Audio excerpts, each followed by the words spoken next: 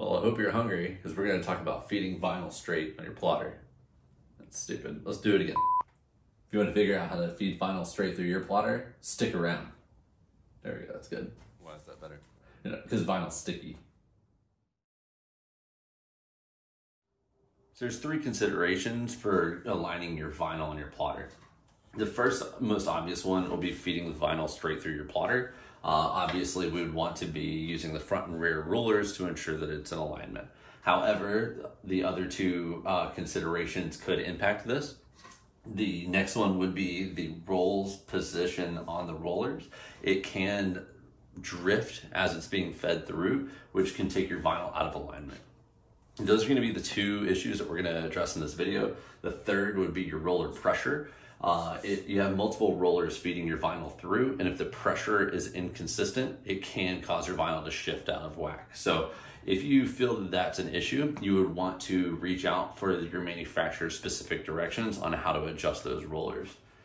So when tackling blade alignment, I find it easiest to uh, handle both the alignment and the roll being uh, stationary, um, taking care of both of those at the same time uh, because they do impact each other. Um, addressing only one of those would just get you right back to where you started uh, the first time you cut. So um, here I'm working with a 28 inch vinyl plotter. Uh, I use 24 inch vinyl. So uh, where you might line that up seems like it could be kind of loose. However, the carriage takes up about four inches of your cut capacity. So really, even though it's a 28 inch plotter, I really can only cut uh, just a hair under 24 inches. So I found that my uh, parking spot for my blade uh, ends up being the right extreme of where it can cut and it parks itself there every time. So I personally prefer to align my vinyl on that blade. So as you can see right now, uh, my vinyl is shifted over to the left of that.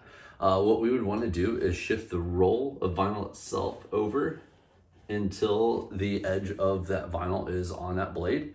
Um, and then I'm going to play with this for a moment. And what I'm going to try to do is align myself where I have the same measurement on the front ruler as I do on the rear ruler while being straight under the blade. And then I'm going to play with feeding it out and uh, ensuring that my roll seems to be somewhat in alignment there as well.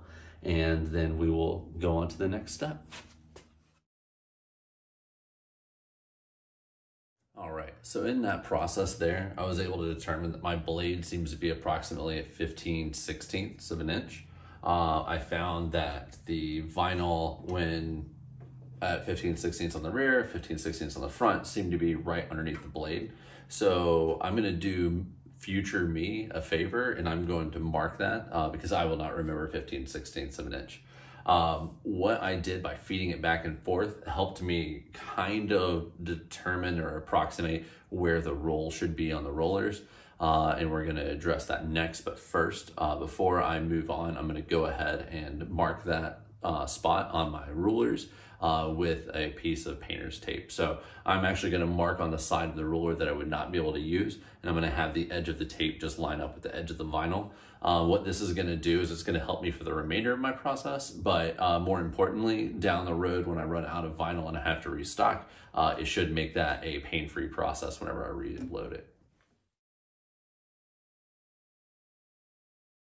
If you're finding any of this information beneficial, it would mean a lot if you would subscribe to my channel.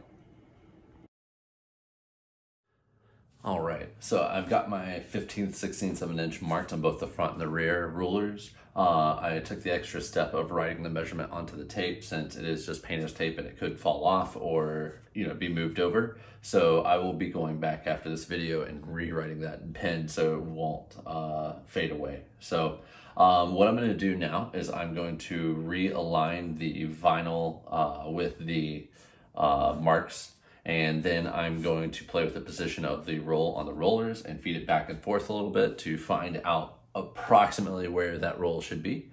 And then I'm going to be installing shaft collars. So um, I've got links to these underneath the video.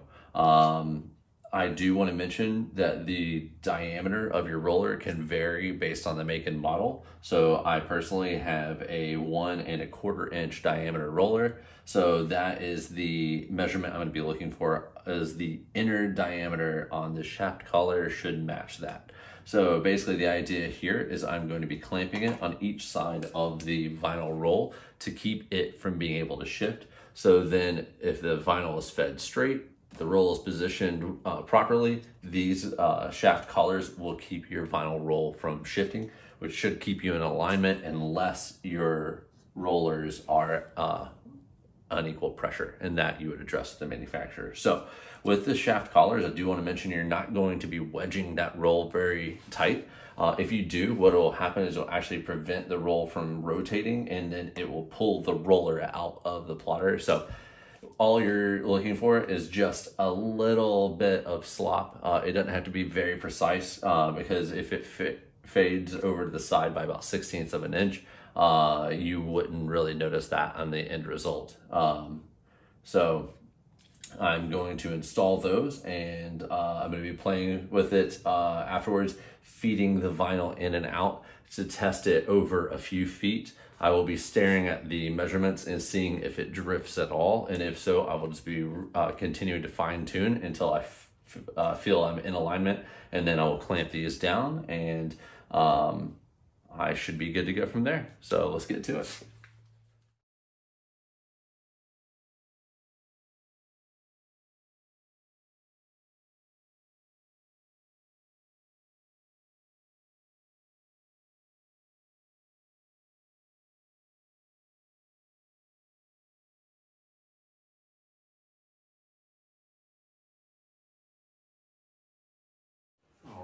So stumbled across a couple uh, tips that I'd like to pass on is one, the tape uh, being on the outside of the vinyl ended up being a tremendous help. So I'm actually able to butt the vinyl up against the tape and it helps me kind of feel that I'm in position rather than just continuously just looking for that, that alignment.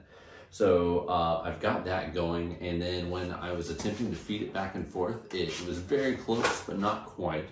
And when feeding it back out and taking extra care not to get the dust of my shop onto the vinyl, uh, I actually um, noticed that when the vinyl is extending out of the plotter and laying over the roll, that's helping you uh, align the roll to the vinyl. So by feeding out a bunch of slack, this part that's hanging over it, rather than going straight to the roll, because the roll could kind of shift and steer the vinyl, but where this has no uh, tension on it and it's feeding over, I'm able to see that I am perfectly in line here. So I am going to take this opportunity to go ahead and snug up those collars and make sure they're not too tight on the roll. And then I will again just test the alignment by feeding it in and out and roll it back up. And from there, we should be really close or done.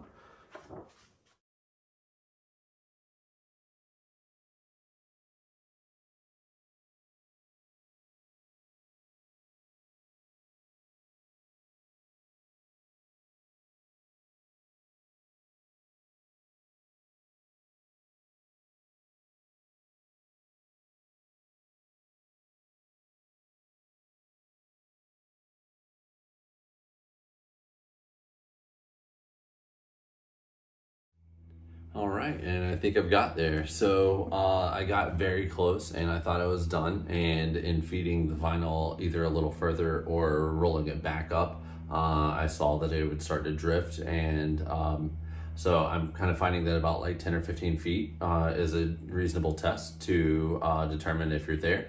Um, this would probably be a place where you wouldn't want to say uh, close enough you just want to stick with it until you've got it uh, pretty well dialed in. Otherwise, you'll continuously be realigning your vinyl after each cut. Um, however, um, I think I've really got a system that's going to work well for me. So I've got the tape to help align that vinyl, and now I've got those collars in place uh, to where it should be easy to set down uh, a roll of vinyl, feed it through, align with those two pieces of tape, clamp it, and be good to go.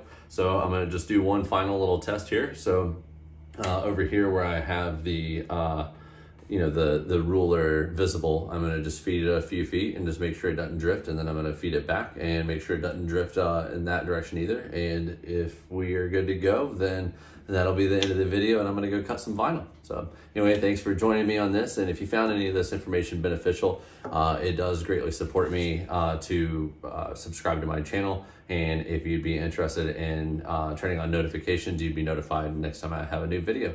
Thank you very much